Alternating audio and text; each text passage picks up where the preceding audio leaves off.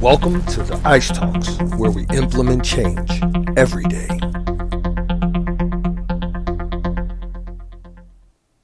Hey, how you doing? Harold S. Reed Jr. here, also known as HRJR, your Motive motivational coach. And as always, if you don't know what MotivAction means, motive plus action equals results, and results equals success. I'm going to make this one a short one today. I know I always say I'm going to make it a short one, and it winds up being like 25, you know, 15, 25, 30 minutes. But no, I want to make this one real short, but I want to make it to the point. Uh, the title of this episode is Find Your Formula. Now, I was inspired to do this episode uh, based on, or rather inspired by, a TV show, a relatively new TV show on VH1 called Love and Listings. Now, side note, I am a self admitted uh, reality TV whore. to put it quite frankly. Um, some of these things I just watch for the sheer mindless getaway entertainment. I'm not seeking to improve my life or, you know, live vicariously through the actions of others and all this other madness. No, but it is just a mindless getaway. But sometimes there's the rare occasion where I pick something up that I can actually use. And this happened on this episode that I watched last night. One of the characters is studying for his real estate exam and he took the test and he failed the test. He did not pass his real estate exam. And he, he said he studied and he can't figure out why he uses flashcards. He had friends helping him and he still can't figure out why he failed. He's got all these other distractions.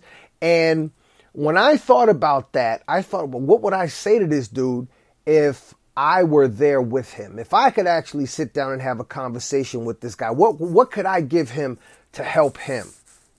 And I have a direct answer, but I want to be able to spin it so that you, the listener, because I'm not going to be talking to him, so I might as well spin this so that you, the listener, can get something out of it. Now, what my response to him would be is the title of this episode Find Your Formula. Now, here's something you may not know. A few years back, uh, I was de- debating whether or not going into real estate myself. And I took the classes, I took the exam.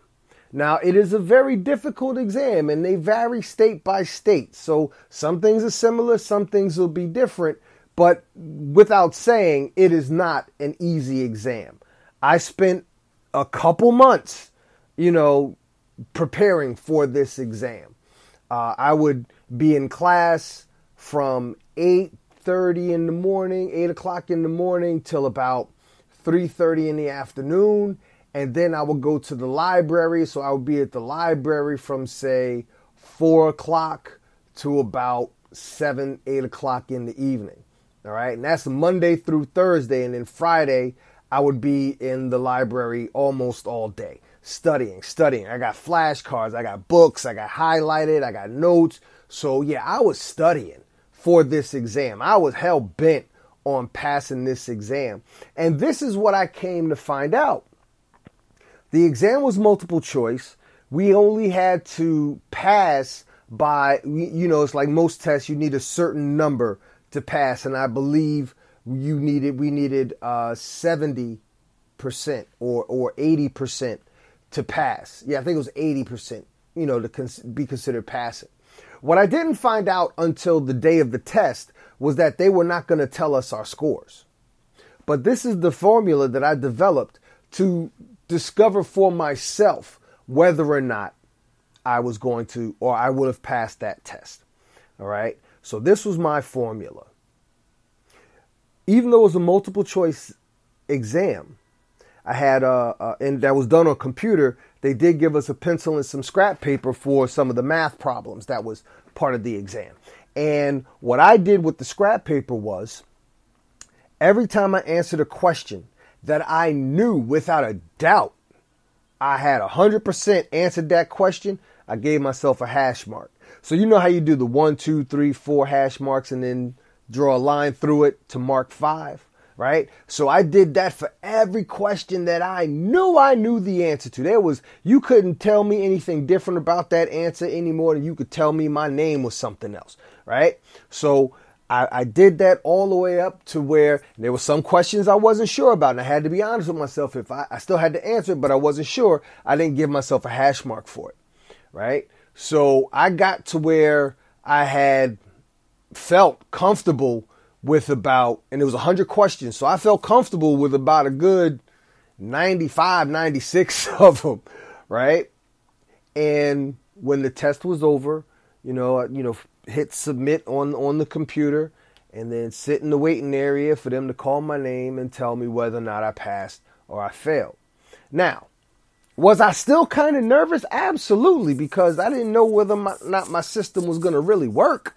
But it made me it it it did release my anxiety. It did make me not feel nervous or as nervous as if I was just sitting there butt naked, right?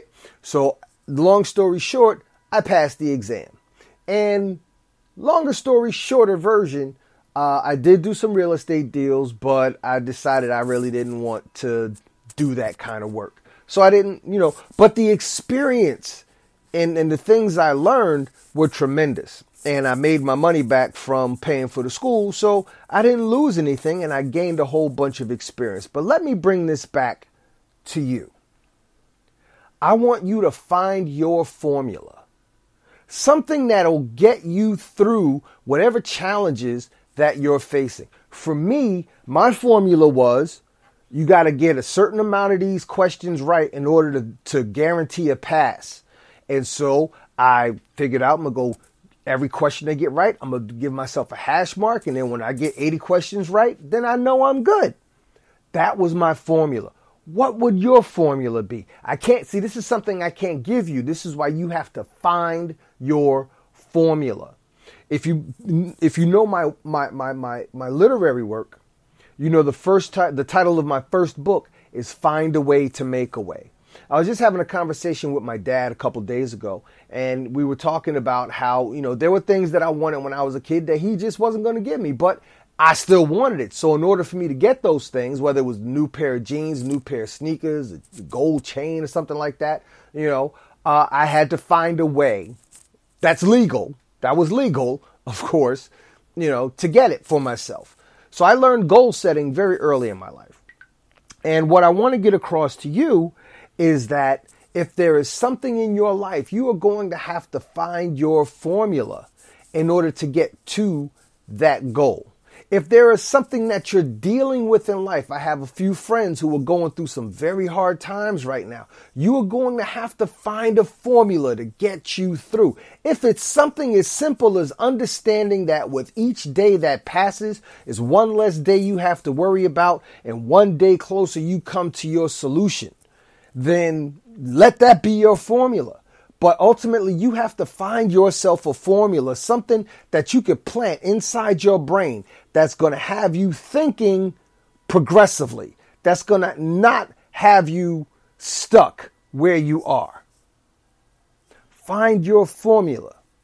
Then you could perhaps go into, and I've spoken about this formula that I have, my, my 3F formula, the face it, fight it, free yourself from it formula, right?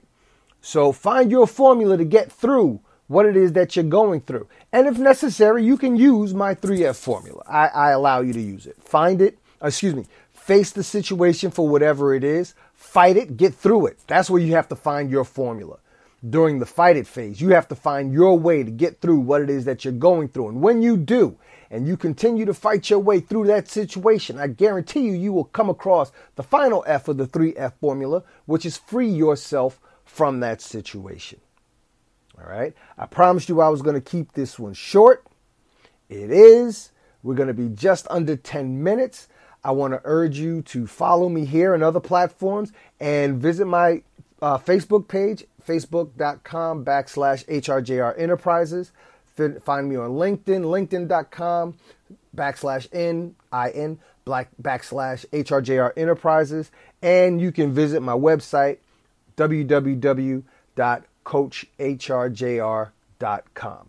You guys take care of yourselves. This was a great episode. I look forward to talking to you on the next one. Thank you for listening to the Ice Talks, where we implement change every day.